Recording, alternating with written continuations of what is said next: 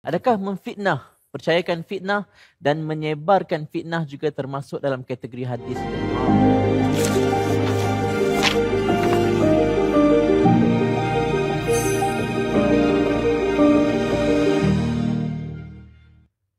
أعوذ بالله من الشيطان الرجيم بسم الله الرحمن الرحيم الحمد لله حمدا كثيرا طيبا مباركا فيه اللهم صل على سيدنا ومولانا محمد من فلقت الأنوار إلا بذاته Assalamualaikum warahmatullahi wabarakatuh Tuan-tuan, puan-puan yang budiman Anda kini sedang menonton rancangan Bedah Hadis edisi Ramadan Ramadan Gaya Rasulullah bersama saya Jalal Zaiki Uh, dalam program ini kita nak membincangkan hadis-hadis Nabi sallallahu alaihi wasallam berkaitan dengan Ramadan dan bagaimana cara untuk kita meningkatkan amalan kita yang bertepatan dengan sunnah. Dan hari ini kita dengan tajuk Ramadan tapi harta masih haram. Uh, Alhamdulillah anda semua saya ucapkan tahniah kerana terpilih untuk bersama-sama dalam program ini. Uh, untuk kita sama-sama meningkatkan ilmu kita dan juga dengan ilmu yang ada kita nak menambahkan amalan kita. Dan uh, sebelum saya perkenalkan siapakah ilmuwan kita pada hari ini yang akan membedah hadis bersama kita, saya ingin menyeru kepada anda semua untuk bersama-sama kongsikan program ini supaya lebih ramai orang mendapat manfaat. Uh, jangan kedekut uh, sebab tak perlu bayar. Okay, cuma sahaja. Dan uh, kenalkan pada hari ini kita bersama dengan Ustaz Mustafa Muhammad Suki iaitu penasihat syariah Koperasi Pelaburan Kaki Tangan Bank Muamalat Malaysia Koputra. Assalamualaikum Ustaz. Waalaikumsalam warahmatullahi wabarakatuh. Tak perlu diperkenalkan lagi sebenarnya Ustaz Mus ni. Ustaz, hari ini kita akan bincangkan hadis uh, memang berkaitan dengan Ramadan tetapi uh, dengan tajuk yang agak spesifik iaitu harta yang haram. Uh, macam mana kita hari ini Ramadan puasa tapi masih lagi makan harta haram dan hadis yang akan dibacakan uh, oleh saya sabda Rasulullah sallallahu alaihi wasallam innal muflisa min ummati ya'ti yawmal qiyamati bi salatin wa siyamin wa zakatin wa ya'ti qad syatama hadha wa qadhafa hadha wa akala mala hadha wa safaka dama hadha wa daraba hadha fayu'ta hadha min hasanatihi wa hadha min hasanatihi fa in fa فإن فنيت حسناته قبل أن يقضى ما عليه أخذ من خطاياهم فطرحت عليه thumma turiha finnar. Agak panjang hari ini hadis yang maksudnya orang yang muflis dalam kalangan umatku adalah orang yang datang pada hari kiamat dengan pahala salat, puasa dan zakat namun dia juga datang dengan dosa mencela orang ini, menuduh orang itu, memakan harta orang ini, menumpahkan darah orang itu dan memukul orang ini. Ha, satu hadis yang agak berat sebenarnya hari ini Kemudian lalu diberikan kepada orang ini sebahagian daripada pahala kebaikannya dan diberikan kepada orang itu pula sebahagian pahalanya. Hinggalah habis pahalanya namun belum lagi terbayar dosa-dosa yang tertanggung atasnya. Lalu diambil dosa-dosa mereka tadi dan dilemparkan ke atasnya. Kemudian dia dihumban ke dalam api neraka. Hadis riwayat Muslim nombor 2581. Okey, hari ini hadis ini uh, macam saya cakap tadi agak berat tetapi InsyaAllah dengan kehadiran Ustaz Mus akan mempermudahkan uh, diskusi kita pada hari ini supaya kita senang untuk faham hadis ini dan juga kita boleh ambil iktibar daripada hadis. Mungkin sebagai pengenalan Ustaz boleh memberikan sedikit uh, sepatah dua kata uh, tentang hadis ini. Silakan. Baik. Assalamualaikum warahmatullahi wabarakatuh. Bismillah wassalatu wassalamu ala rasulillah. Allahumma salli wa sallim ala Muhammad wa ala alihi wa ashabi wa man tabi'ahum bi ihsani ila yaumiddin amma ba'd yang saya muliakan Ustaz Jalal. Alhamdulillah qari kita dan kemudian penonton yang dirahmati Allah Subhanahu Wa Taala. Baik, uh, sebenarnya kita kena tengok pada diri kita dan terutama sebelum kita masuk Ramadan ni sudah tentu orang berlumba-lumba nak buat kebaikan. Solat sudah tentu, puasa lagi lah, kemudian baca Quran dan sebagainya, sedekah, zakat. Jadi semua ini kita nak kena tengok balik bahawa sebenarnya kita bimbang. Takut perkara ini kita ada part ataupun bahagian kita terlepas pandang dan akhirnya menjadikan nilai pahala tu tak ada nilai ataupun kosong akaun kita di sisi Allah Subhanahu Wa Taala. Dan sebab tu bila sebut tentang hadis ni hadis orang muflis dekat akhirat yeah. dan kalau tengok sebenarnya para sahabat radhiyallahu anhu ajma'in Nabi tanya Nabi tanya siapa orang paling muflis ni? Yeah. Ha, kemudian sahabat ni jawab standard dia standard muflis dekat dunia. Hmm. kan maksudnya orang muflis ni tak ada dirham, tak ada dinar dan sebagainya. Tak ada pitih. Tak ada pitih lah kan. ha, jadi kalau ikut standard AKPK ataupun Jabatan Insolvensi itu memang muflis lah. Ha, tapi sebenarnya ramai orang muflis dekat Malaysia ni. Kalau tahun 2019 saja lebih kurang dalam 84 ribu dan 56% daripadanya adalah orang Islam. Ha, jadi kita yang itu pun kita ambil berat lah. Tapi sebenarnya yang kita paling nak ambil berat sekali ialah berkaitan dengan muflis akhirat. Kalau kita tengok dalam bentuk dunia ni dia adalah pahala, tetapi dalam akhirat itu dia adalah dalam bentuk dunia adalah harta, tetapi dalam bentuk akhirat itu dia adalah pahala. pahala. Dan pahala tu kita bimbang, kita banyak pahala tu, solat, puasa, zakat, tetapi daripada sudut akhirnya kita bagi pada orang lain. Kita ada duit 10 juta contohnya kan. Jadi uh, ataupun 10 ribu kan. 10 ribu tu dengan tak ada apa-apa kita bagi pada orang lain. Dan bagi tu bukan atas sebab apa? Sebab kita ni adalah salah seorang daripada mereka yang mana termasuk dalam golongan muflih dekat akhirat seperti mana yang kita sebutkan di awal tadi. Ya. Itulah Baik. dia satu pengenalan Ustaz eh, ya. tentang apa yang bakal kita bincangkan tentang hadis ini iaitu satu perkataannya ialah muflis akhirat. Dan kalau kita lihat dalam hadis ini Ustaz, uh, perkara-perkara yang membuatkan pahala kita ataupun harta kita di akhirat itu hilang ialah benda-benda yang uh, berkaitan dengan hubungan kita sama manusia. Mungkin Ustaz boleh jelaskan tentang apakah hubungan sama manusia yang dijelaskan dalam ni Ustaz. Baik.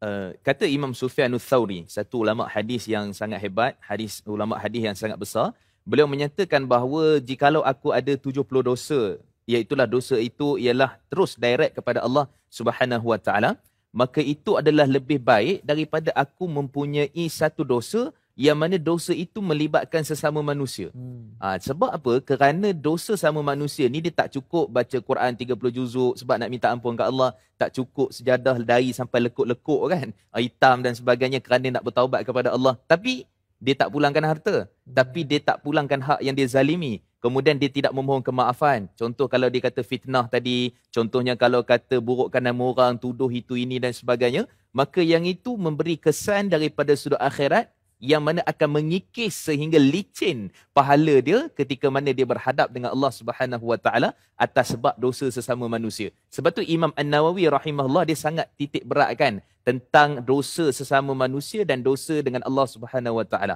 Jadi dosa sesama manusia ni dia ada empat syarat nak taubat. Sekejap lagi kita bincang insyaAllah. Yeah. Dan uh, sekarang ni zaman uh, teknologi Ustaz eh, memang mudah sangat untuk kita me, meng, apa orang kata mengabaikan uh, hubungan sama manusia ni. Dengan klik-klik dengan keyboard sekarang kita banyak keyboard warrior ustaz kan? Betul. dan rugilah uh, bila kita buat pahala banyak-banyak. Tapi sama manusia uh, kita tak dapat nak jaga ustaz kan? Uh, dan lepas ni kita nak bincang uh, macam mana ustaz eh uh, kita cara-cara untuk kita menahan diri kita daripada uh, membuat benda-benda yang tak tak ni. Lagi-lagi di bulan Ramadan ni Ustaz, mungkin Ustaz ada tips sedikit lah macam mana kita nak menahan diri kita daripada uh, terjebak dengan uh, memburukkan hubungan kita. Baik.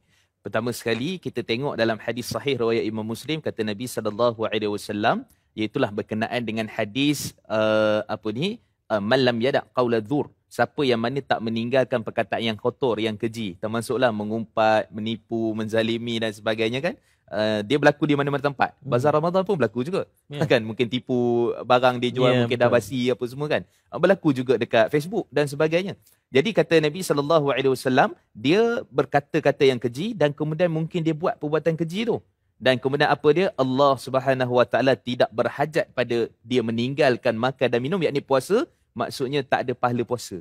Jadi menunjukkan dekat situ kita kena tahu tentang hadis Nabi sallallahu alaihi wasallam yang mana kita tak jaga mulut perbuatan kita ni boleh menghilangkan pahala. Dan itu muflih awal lagi.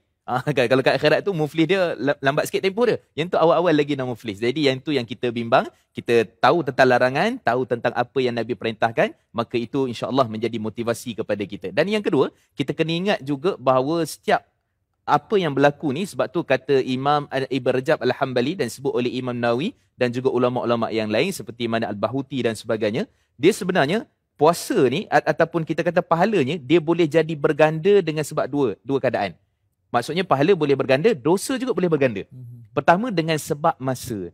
Masa tu kalau bulan Ramadan masa tu dalam bulan yang Allah berkati tiba-tiba ada orang buat dosa mengumpat apa semua pahalanya bukan 10 ataupun eh, sekian-sekian kalau dia berhenti tapi dia akan diberikan pahala kerana tahan lidah dia. Hmm. Tapi bila mana dia buat kejahatan ataupun dia mengumpat dan sebagainya, maka waktu tu dilipat gandakan pula.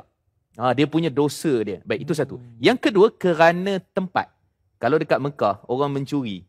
Dia tak sama dosa mencuri kat Malaysia. Ha, contohnya kan. Ha, jadi dosa mencuri kat Mekah tu lebih besar apatah lagi di hadapan Kaabah. Kan ada orang menipu, ada orang macam-macam lagi. Mm-hmm. Jadi kita kata ini antara perkara yang menjadi motivasi pada kita jangan lipat gandakan dosa. Ya.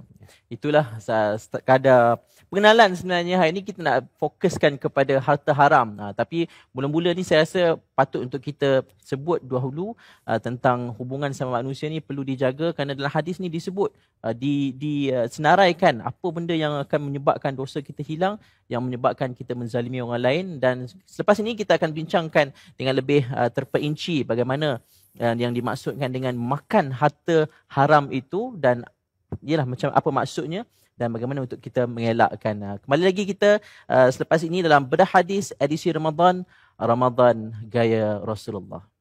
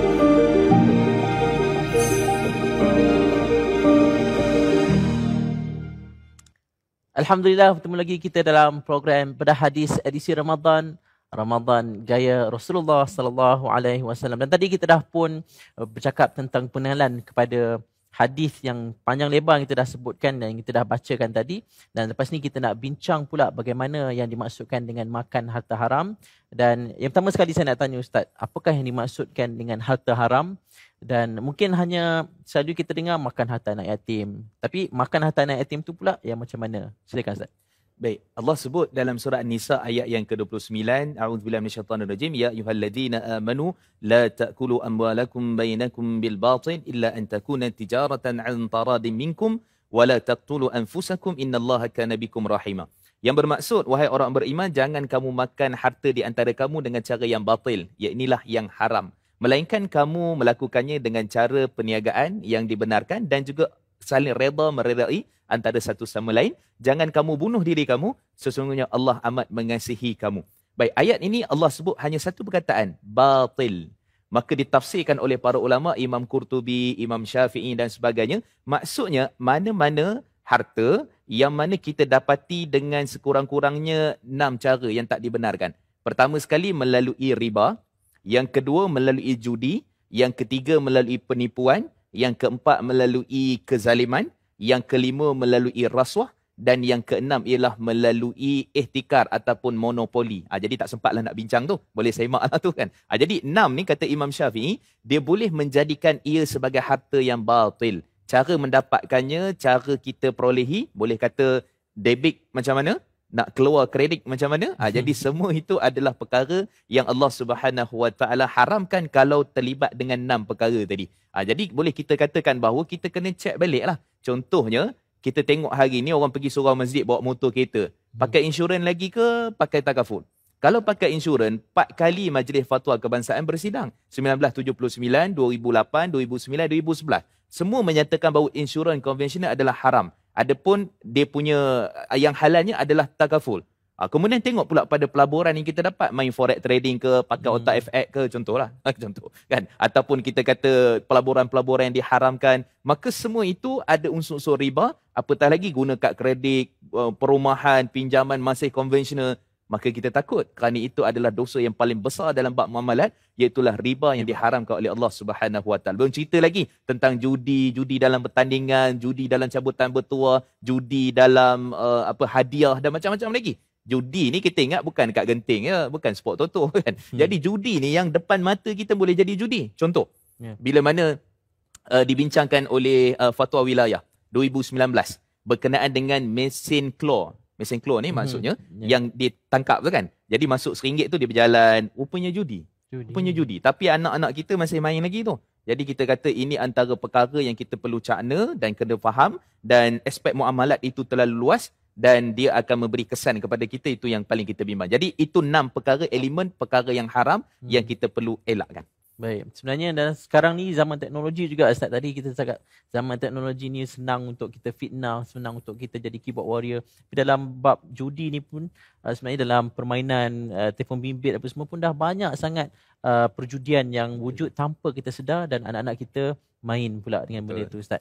Sekarang ni kita nak bincangkan pula apa kesan harta haram yang kita makan itu terhadap puasa kita, terhadap bulan Ramadan ni Ustaz. Silakan. Baik, ini antara kita punya tunjang topik utama yang kita nak sebutkan ini. Baik, yang pertama sekali, apa kesan pada puasa? Kan tadi dalam hadis sebut zakat, ya. dia datang pahala berzakat, puasa, solat dan sebagainya. Solat termasuklah solat tarawih. Mm-hmm. Kan? termasuklah solat tahajud. Ya. Maka apa dia? Yang pertama sekali kita sebut bahawa ibadah itu khususnya zakat ataupun infak wakaf sedekah itu tidak diterima oleh Allah Subhanahu Wa Taala. Menggunakan duit. Menggunakan duit yang tadi, tadi yang haram itu. Maka kata apa kata Nabi sallallahu alaihi wasallam dalam hadis riwayat Ujrah uh, Ka'ab bin Ujrah dalam riwayat Imam Ibn Khuzaimah dan selainnya hadis sahih Nabi sallallahu alaihi wasallam menyatakan wa man jama'a malan haraman fayatasaddaqa min siapa yang mana menghimpunkan daripada harta yang haram maksudnya dia tak ambil tahu halal haram yang penting dia nak sedekah sebab bulan Ramadan kan. Ha, jadi waktu tu kata Nabi sallallahu alaihi wasallam walam yakun syai'un fihi ajr. Dia takkan dapat setitik pun pahala daripadanya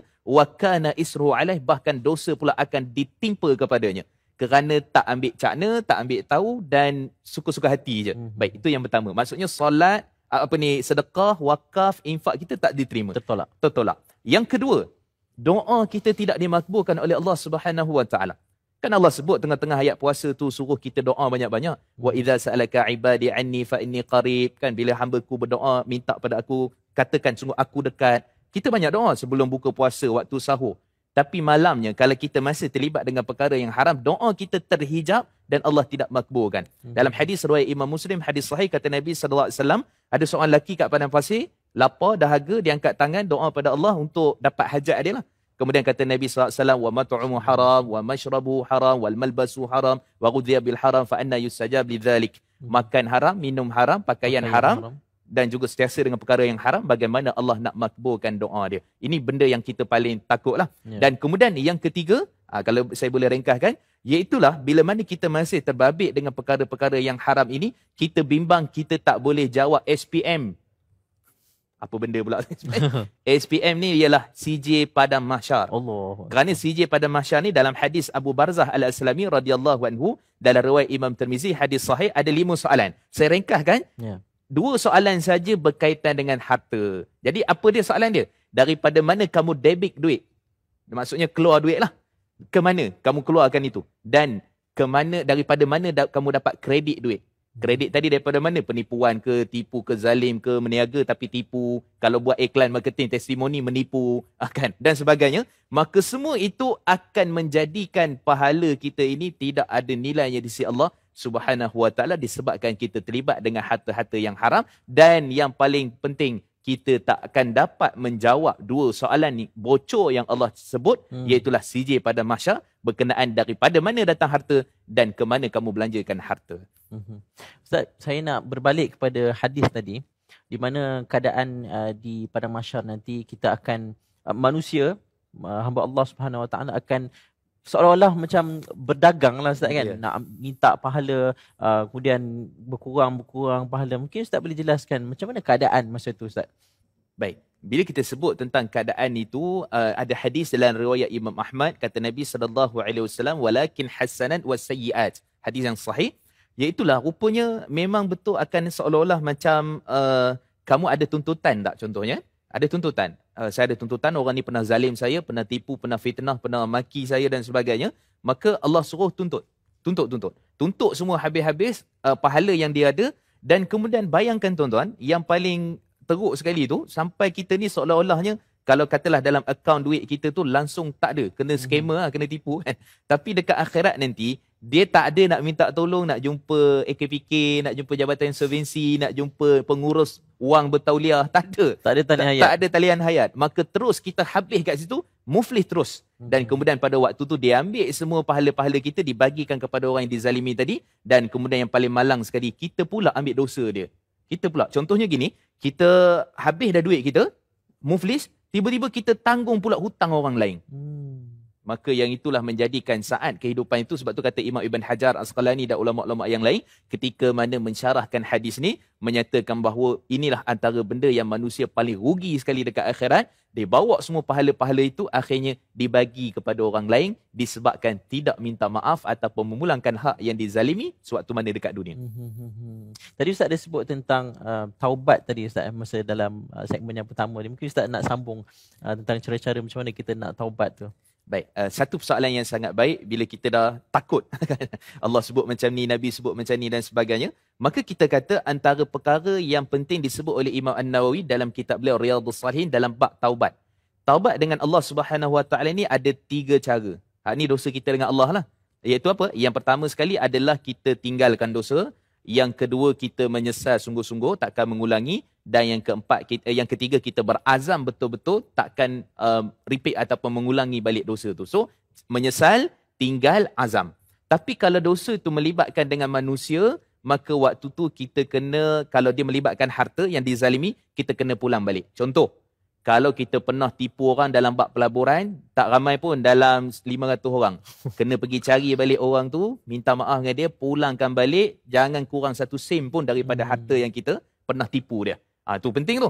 Bukan bukan maksudnya bertaubat, taubat ni tak apa, yang tipu-tipu tak apa, yang penting pergi masjid tarawih 23 rakaat kan. Ataupun doa pada Allah tahajud, lekuk-lekuk lantai apa semua sebab apa punya banyak tahajud kan. Tak bermakna di sisi Allah kalau kita tak pulangkan balik hak itu. Tu yang pertama. Hmm. Yang kedua, kalau dia melibatkan kita fitnah, tipu orang dan sebagainya, maka kita minta maaf. Kita minta maaf dan kita kena ada sifat yang profesional untuk minta maaf terhadap apa fitnah yang kita pernah buat. Tak kira lah hmm. tulis kat Facebook ke, yang paling baik personal lah. Sebab kita kita sebut tu mungkin dah cyber ke apa penipuan dan sebagainya. Maka minta. Kalau tak, maka pada waktu itu pahala solat puasa zakat kita habis. Yang kita duk maki orang, apa apa ambil duit orang tadi tipu zalim pun akan menghabiskan juga kita punya pahala. Itu yang paling kita bimbang. Okay, Ustaz. Bila Ustaz sebut tentang meminta maaf kepada orang lain, cukup tak kalau saya jumpa Ustaz? Contohnya saya pernah uh, buat jahat kat Ustaz kan, fitnah ke apa ke, curi duit Ustaz ke. Contoh, Lepas tu saya jumpa kat ustaz, saya kata, ustaz minta maaf eh, atas salah silap hujung hujung rambut, hujung kaki. Cukup tak macam tu? Ataupun perlu sebut satu-satu apa kesalahan kita? Para ulama berbeza pandangan tentang isu kita memohon kemaafan ini. Uh, pandangan yang pertama menyatakan bahawa cukup kita sebutkan umum kalau dia ni jenis kaki pukul ke apa ke kalau kita sebut tu memang kita kena oh. tak kena belasah kena apa kan tapi kalau dia ni jenis yang hatinya lembut apa semua kita tengok maksudnya boleh bawa bincang lah maka kita cerita dulu saya pernah fitnah awak, dulu saya pernah tipu duit awak apa semua, maka dengan ni saya pulangkan balik dan saya minta maaf. Jadi tengok pada keadaan orang. Hmm. Kalau mencetuskan perbalahan yang lebih besar, maka pada waktu tu cukup untuk kita sebut umum. Tapi sebenarnya saya lebih cenderung kepada kita kena sebut spesifik kerana hmm. dosa apa yang kita buat berkait harta, berkait dengan fitnah dan sebagainya kerana itu yang paling terbaik. Ini juga dibincangkan oleh para ulama Imam Nawawi dan sebagainya yang mana kita minta maaf itu adalah satu kewajipan ketika mana kita nak uh, menghapuskan dosa-dosa kita. Yang dia maaf ke tidak, yang tu soalan yang kedua. Yang kita nak ialah kita mohon kemaafan. Wallah. Baik. Terima kasih kepada Ustaz uh, Mus atas perbincangan pada hari ini. Tapi kita belum habis lagi Ustaz. Okay. Kita akan kembali lagi selepas ini dalam bedah hadis edisi Ramadan. Ramadan Gaya Rasulullah. Jangan ke mana-mana.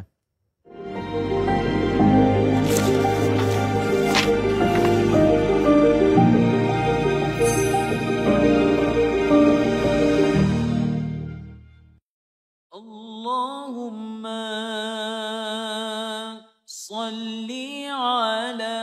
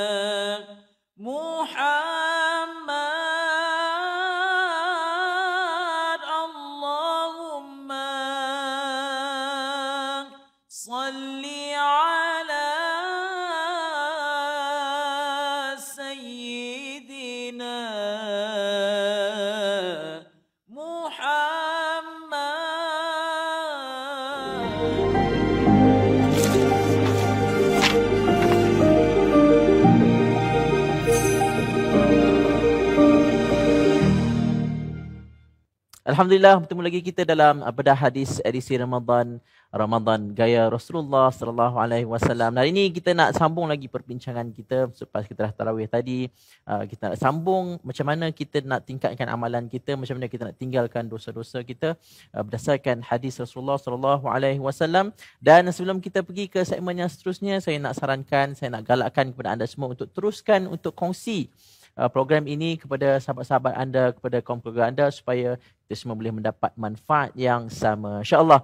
Uh, Dan uh, Ustaz, kali ini kita nak pergi kepada soalan-soalan yang telah pun uh, ditinggalkan oleh peserta-peserta kita uh, di uh, saya, saya Telegram. Uh, soalan yang pertama. Jeng, jeng, jeng. Adakah memfitnah, percayakan fitnah dan menyebarkan fitnah juga termasuk dalam kategori hadis ni? Ha, Ustaz. Yang kedua tu saya rasa menarik. Uh, kalau memfitnah dengan menyebar fitnah tu rasanya memang confirm lah uh, dia uh, satu yang tak baik kan. Tapi percaya fitnah Ustaz. Uh, mungkin Ustaz boleh jelaskan. Baik, Allah sebut dalam surah Al-Hujurat bahawa setiap apa yang sampai pada kita ni ialah kita kena semak. Ha? Apa ni yang mana Allah. Subhanahu Wa Taala sebut uh, apa ni? In ja'akum fasikum binaba'in fatabayyanu. Bila datang kepada kamu berita-berita orang yang fasik ni, maka hendaklah kamu semak dan teliti. Maka pada waktu itu menunjukkan bahawa sebenarnya agama kita perlu semak dan teliti terhadap berita apa yang disebarkan. Dan dia tadi tu yang kita bimbang tu sebab takut pergi muflih dekat akhirat lah. Adapun percaya kepada fitnah, percaya tu tengok pada dia. Kalau percaya tu dalam keadaan dia jahil, kan maksudnya dia ni bukan jenis orang yang alah berita-berita sebar-sebar ni kan. Mhm. Maka waktu itu dia pun eh betul ke ni macam ya je ah contohnya kan. Tanpa dia ada ilmu, tanpa dia maksudnya dalam keadaan jahil dia tak ada apa nak semak, dia tak tahu dan sebagainya, maka yang itu mungkin ada kemaafan lah daripada sudut syarak Ya. sebab dia tak melibatkan benda lain. Maksud dia tak sebar, cuma dia percaya je. Yalah ni kot kan contoh begitu. Tapi kalau dia ni ada kemampuan tidak dalam keadaan jahil, dia boleh semak dekat internet ke mungkin tanya orang ke PM Facebook ustaz ada orang kata uh, ustaz ni ada minta duit. Uh, dia dia ni, betul yeah. ke ustaz minta duit? Eh saya tak ada. Itu nombor lain tu. Oh, rupa kena tipu. Kena scammer. Kena scam kan? Uh, jadi kita kata dalam keadaan itu kita kena perlu semak kepercayaan ataupun kesahihan berita kerana dia boleh menyebabkan Allah sebut dalam surah Hujurat itu menyesal dekat akhirat nanti dan bimbang pula takut pahala kita hilang pula dekat akhirat nanti. Jadi kena tengok yang sebar kena apa kita kata berhenti pada sebar adapun yang percaya tu dia kena ada ilmu kena semak kalau tak kita bimbang takut jadi dalam ayat tu menyesal dan jadi pula orang muflih dekat akhirat Hmm, jawab pada persoalan ni, adakah ianya dalam kategori yang sama? kita kata dua kategori yang berbeza sebar lain yang percaya tu kita kata tengok keadaannya Allah Baik, baik. Dan kita nak pergi kepada soalan yang kedua yang telah ditinggalkan. Dari Izah Izah Nasirah. Macam mana nak cuci harta yang haram? Macam mana kalau dia tak tahu jumlah harta haram dia? Ustaz, ni keliru juga ni kan? Ah, Silakan Ustaz. Okey, ada dua soalan itu macam mana nak cuci dan kalau tak tahu kan. Ha. Baik, yang pertama sekali cuci ni dia bukan dekat laundry ke apalah. Adobe, Adobe. Ah, kan. Dia cuci ni ialah sebab tu Majlis Fatwa Kebangsaan 2003 dan disebut oleh ulama-ulama terdahulu seperti Imam Qurtubi, seperti mana juga ulama terkemudian Syekh Dr. Yusuf Qaradawi, Syekh Atiyah Sakar dan sebagainya. Tengok pada harta tu. Dia ada dua jenis kategori. Pertama dipanggil sebagai memang asal dia tu memang haram dah dipanggil lidhati. Contohnya apa? Contohnya kata judi, contohnya kita kata perolehan daripada jual beli arak dan sebagainya, memang dah asal-asal haram. Baik, yang itu kita kena lupuskan dengan cara yang pertama kata uh, Majlis Fatwa Kebangsaan, pertama kita lupuskan dengan memberi kepada orang-orang yang sepatutnya seperti fakir miskin. Tapi jangan sebut kat dia, ni saya duit judi ni, ambil lah sikit.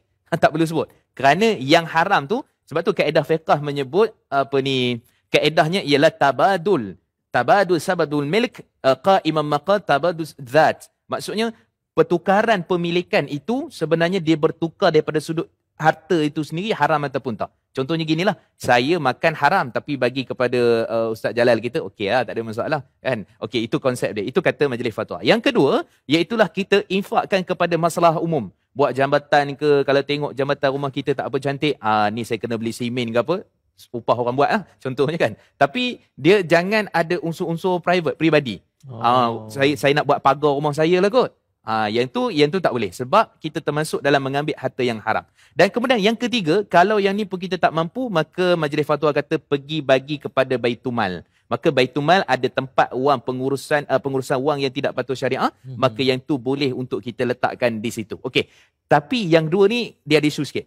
Iaitulah harta dengan sebab faktor lain jadi haram. Contoh, uh, saya ambil duit uh, apa ni Ustaz Jalal RM100. Hmm. Kalau saya minta ataupun hutang halal ke tak? Halal lah. Tapi saya ambil. Ha, kan contohnya jatuh ke apa ke, saya buat tak tahu, saya ambil. Saya tahu yang tu Ustaz Jalal punya. Oh. Maka yang tu dipanggil haram dengan sebab kita tak bagi tahu ataupun kita ambil tanpa diketahui. Walaupun dia hutang kita. Walaupun dia hutang kita kan. Ha, jadi pada waktu itu, sebenarnya cara nak lupuskan tu bukan pergi Baitul Mal. Bukan pergi tempat-tempat itu. Kena pulang balik kepada hmm. uh, Ustaz Jalan. Itu konsep dia. Okey. Kemudian, uh, kalau tak tahu jumlah, kalau tak tahu jumlah ni, kita kata kita anggarkan jumlah tu. Ha, kan contohlah kata kita buat pelaburan, mm-hmm. katalah kita tipu orang. So tak ramai dalam 2000 orang je. okay. ha, jadi 2000 orang tu biasanya amount tu biasanya lah kita ambil berapa. Dan nak cari orang ni kadang-kadang tu dah meninggal dunia.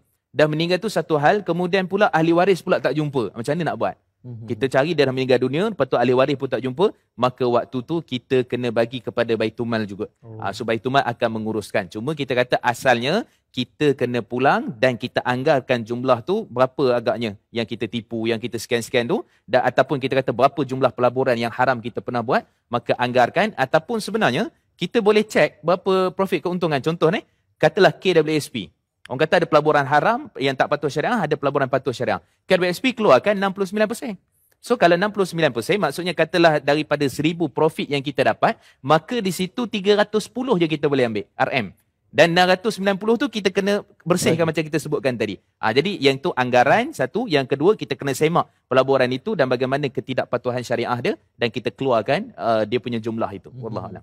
Baik dari segi jumlah dulu Ustaz, adakah contohlah saya kata 20 tahun dulu dengan sekarang ni dia dah ada inflasi. Patut tak kita tambah sekali dengan inflation rate dan dan sebagainya? Okey, ada hadis dalam riwayat Imam Tirmizi uh, yang ni cerita nak buat uh, exchange lah maksud pertukaran mata wang uh, mata wang dan hadis tu dhaif sebenarnya. Tapi kita boleh ada pesandaran lah daripada para ulama menyatakan bahawa iaitu la ba'sa bi sa'ri yaumiha. Tak mengapa pada hari waktu yang kita sepakat tu. Ah, contohnya 20 tahun lepas, mm-hmm. katalah rate currency apa semua tu, tapi kita sepakat hari ni ialah kita ikut hari ni punya currency. Maka kita pulang ikut hari ni punya currency lah. Oh. Ah, kan itu contohlah macam pergi Mekah ke pergi mana, pinjam ataupun pinjam kat situ, lepas tu buat-buat lupa harta. Hmm. kan. Lepas tu baru teringat tengok my had, apa kita punya bedah hadis ni kan. oh, oh, rupanya hutang ni kena pulang kan. Katalah contoh dulu pinjam 20 rial. Ah, sekarang berapa? Ah, so ikut harga sekarang pulang baliklah kepada Ustaz Jalal. Oh, kalau kalau tak pernah ada perjanjian tu kita kena ikut yang secara umum lah. secara umum kita ambil yang itulah sekarang. Baik. Uh, panjang lebar hari ni agak berat Ustaz eh, berkaitan dengan kewangan tapi satu topik yang penting sebenarnya. Kita teruskan dengan soalan yang ketiga. Oh, panjang juga ni. Macam mana kita nak tebus balik kesalahan itu? Sebab ini dikira dosa dengan manusia kan. Jikalau kesalahan ini kita buat waktu lampau, suka nak jumpa sebenarnya orang yang pernah kita buat salah. Bagaimana ya Ustaz? Oh, contohlah dia pernah gaduh Ustaz kan. Dekat uh, Facebook contoh kan. Oh, lama dah. Dia tak kenal pun siapa. Tapi balah situ. Fitnah semua. Macam mana Ustaz? Tak jumpa dah orang tu. Okey, uh, dua aspek lah kita tengok. Pertama, bab fitnah orang pun semua. Yang kedua, bab harta tadi lah. Okey, kalau tengok berkait dengan bab fitnah orang dan sebagainya ni, uh, kita pertama sekali, kita kena jumpa orang tu lah. Itu memang tak boleh tidak, memang kena jumpa lah. Yang ya, kedua, maaf, tak, tak maaf tu yang kedua. Itu yang kedua lah kan. Nak tak nak kena jumpa. Okey, itu yang pertama. Yang kedua, jumpa ni tak semesti bersemuka. Mungkin PM uh, dia punya private ke dan sebagainya. Ataupun WhatsApp dia dan sebagainya lah. Okey. Okey, uh, kemudian juga berkait dengan dosa sesama manusia itu. Sebab dia nak tak nak memang kena minta maaf. Sebab tu hak orang, maruah orang yang kita telah calarkan. Kan kita tuduh dan sebagainya. Maka kita tengok apa yang Nabi SAW sebut dalam hadis sahih riwayat Bukhari la yadkhuluna jannah qattat uh, apa uh, namam ataupun dalam riwayat yang disebutkan tentang uh, jangan uh, tak masuk surga orang yang fitnah, orang yang menipu, yang mengada-adakan cerita dan sebagainya. Jadi berat tu dosa tu. Maka nak tak nak kena minta maaf, kena jumpa. Kalau tak ada, kita kena jumpa ahli waris. Oh. Ha, jumpa ahli waris dia dan mohon kemaafan dulu saya pernah maki kan kutuk fitnah apa semua jumpa ahli waris ahli waris kata boleh tapi kena bayar RM 2000 kita jumpa kat mahkamah jumpa kat mahkamah kerana itu yang ahli waris minta untuk diselesaikan sebab saman malu, saman fitnah dan sebagainya. Maka kita berhadapan lah. Sebab tu penting kita tengok sebelum kita bertindak pada benda-benda yang boleh menjadikan kita hancur ataupun menjadikan kita muflih dekat dunia ataupun akhirat. Baik, itu yang pertama. Yang kedua, sudut harta. Ha, kan? Sudut harta ni tak jumpa dah orang ni. Baik, sama ada kita berhutang dulu tak nak bayar, lepas tu baru sekarang ada kesedaran nak bayar kan. Ataupun yang kedua memang kita ambil hak orang, tipu dan sebagainya, maka kita kena jumpa, kita kena pulangkan. Ha, ini jumlah sekian-sekian. Kalau tak ada, kepada ahli waris. Kalau tak ada juga, maka ada pendapat di kalangan para ulama antara Imam Ibn Rajab Al-Hambali dan juga disandarkan kepada Imam Nawi. Boleh kita infakkan harta tu dengan atas nama yang kita tipu zalim tadi. Bukan kita infak tu sebab kita. Dia infak tu atas sebab apa? Supaya orang yang kita tak jumpa tadi tu, dia dapat pahala dekat akhirat nanti kerana daripada duit yang kita tolong infakkan dengan sebab kita hutang dia tak bayar dulu. Ah, Nanti kan? dia nak claim tu, eh dah dapat kan? Ah, itu dia punya konsep dia. Okey, okay, menarik. Mungkin kita ada satu lagi soalan yang boleh kita uh, kupaskan ataupun jawab sebelum yang terakhir. Boleh ke guna harta haram ketika darurat, Ustaz? Maksudnya ada kes itu kan dekat Maidin contoh kan, mencuri. Uh, sebab dah darurat ni, tak ada duit contoh kan. Macam mana Ustaz? Okey, uh, kalau ikut pendapat daripada Al-Imam Ibn Qayyim rahimahullah dalam kitab beliau berkenaan dengan uh, I'lam Waqi'in, menyatakan rupanya uh, memang ada perbincangan fiqah zaman dulu yang menyatakan dalam keadaan darurat itu diharuskan. Uh, dalam keadaan darurat itu diharuskan. Cuma kita kata Majlis Fatwa Kebangsaan bila mana bersidang pada 2011 bincang tentang isu pampasan daripada syarikat insurans. Mm-hmm. Katalah saya ambil insurans, uh, tiba-tiba accident, dapat 1000 isteri saya dapat. Maka waktu itu kata majlis fatwa sepatutnya satu sen pun hak si isteri tak boleh dapat sebab dia pampasan insurans itu haram. Ni majlis fatwa 2019 ha. Kalau tuan, uh, tuan-tuan uh, 2011 kalau tuan-tuan kata alah majlis fatwa apalah sangat. Hari ni orang majlis fatwa apa orang lawan. Hmm. kan? Ha? tentang macam-macam isu kan orang lawan majlis fatwa. Kita kata buat fatwa itu adalah satu kaedah dan itu benda yang patut kita kena pegang lah. Kita kena pegang sebab yang buat tu pakar Malaysia ni sendiri dan kemudian bila sebut tentang uh, isu kita punya tadi tu maka majlis fatwa mendetailkan kalau contohnya tak ada duit langsung nak makan. Ha, sebab masuk daripada pampasan RM100,000 tu, katalah contohnya kena ambil juga RM5,000 ni untuk pengurusan anak dan isteri. Contohnya. Jadi pada waktu itu kita kata waktu darurat diharuskan tapi dengan kadar yang diizinkan syarak memang darurat. Bukan kata contohnya eh saya sebenarnya perlu RM5,000 je tapi saya ambil lah RM50,000 contoh. Yang tu tak boleh. Itu ikut majlis fatwa dan ikut apa yang kita sebutkan tadi. Wallah. Baik. Tu dia jawapan. Soalan dia tadi macam pendek je tapi jawapannya tu banyak lebar. Mungkin ada satu lagi uh, soalan yang boleh kita jawab. Um, sebab ada masa lagi. Bolehkah diterima sedekah dari individu ataupun syarikat berpendapatan dari sumber haram untuk jamuan buka puasa? Ustaz, macam mana? Mungkin daripada um, ni genting kan contohlah kan. Okey. Baik, uh, satu persoalan yang sangat baik. Uh, cuma ada hadis riwayat daripada Imam Muslim daripada Barirah radhiyallahu anhu dan juga uh, dia sebenarnya Barirah ni dia pembantu Sayyidatina Aisyah radhiyallahu anha. Dia satu hari dia pergi diminta dia untuk beli kambing. Uh, cari kambing. Tiba-tiba tu dia pergi beli, dia pergi cari, tak tahu siapa punya tuan dia, dia bawa balik. Jadi pada waktu tu Nabi wasallam suruh baca bismillah kemudian makanlah. Kan? Uh. Jadi seolah-olah macam oh senangnya macam tu kan. Okey. Hadis ada juga riwayat daripada Abdullah bin Mas'ud dan juga Ibn Abbas dalam Musannaf Ibnu Abi Shaybah yang ketika mana Abdullah bin Umar ditanya. Dia, dia tanya dia, dia ni lelaki, jiran dia ni buat riba apa semua kan. Mungkin buat pinjaman lah waktu tu kan buat riba. Kemudian dia tanya, jiran aku ni dia ni ajak makan dekat rumah dia. Tapi dia buat riba. Boleh tak aku datang?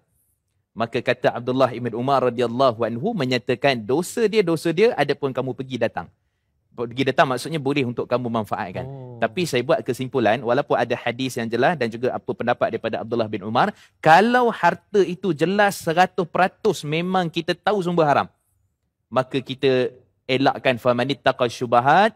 Allah Nabi SAW sebut dalam riwayat Bukhari, kamu kena jaga-jaga hati-hati daripada perkara syubahah, kamu akan jaga uh, agama kamu dan akan jaga maruah kamu. Itu lebih bagus. Tapi kalau kita tak jelas sumber dia, ah kan ni pun kita tak tahu tapi orang dok bagi apa semua ni kita ambil ah yang tu mungkin kena dengan hadis yang kita sebutkan tadi sebab kita tak tahu sumber dia. Jadi kita menganggap bahawa itu adalah halal, uh, satu untuk kau, satu untuk aku lah. kan? Tapi yang tadi memang jelas-jelas haram tu, yang tu sepatut kita elakkan. Wallahualam. Hmm. Dan kita dah pun sampai di penghujung program. Tapi sebelum kita berhenti ni, kita nak dengar satu uh, konklusi terakhir daripada Ustaz Mus uh, sebagai pedoman kita semua. Baik, uh, suka saya nak ingatkan kepada ayah-ayah, mungkin kepada pelajar-pelajar, kepada remaja-remaja, apa pun yang kita cari dalam kehidupan kita berkaitan dengan harta, maka kita cari tu mestilah daripada sumber yang halal. Jangan kita dah melabur juta-juta ke ribu-ribu dah untung banyak baru tanya halal ke tak halal. Kalau tanya tu lepas tu tanya halal tak halal tu satu isu. Yang kedua, ada tak pandangan yang kata boleh? Ha.